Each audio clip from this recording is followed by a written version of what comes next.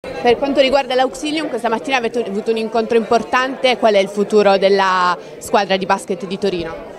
Beh, è uno, uno, degli incontri che abbiamo fatto, come dire, anche senza grande clamore nelle ultime settimane, è stato positivo e stiamo lavorando per far sì che comunque a Torino il basket in Serie A possa continuare ad esserci, ci saranno ulteriori sviluppi e credo che entro la fine della prossima settimana potremmo pubblicamente spiegare qual è il progetto che stiamo costruendo. L'incontro con Stefano è stato veramente molto positivo, alcune aziende si sono fatte avanti, quindi adesso è il tempo di mettere insieme e chiudere il cerchio. Si può dire che potrebbe essere anche questo un successo, l'ennesimo riguardo allo sport un po' come la TP Finance? Si può già parlare di quasi successo? Ci stiamo lavorando, il successo si decreta alla fine quando hai, hai, raggiunto il risultato, quindi continueremo silenziosamente a fare la nostra parte come città insieme a tutti i soggetti e le aziende, Stefano che si stanno muovendo e quindi il successo lo diremo quando è chiusa l'operazione.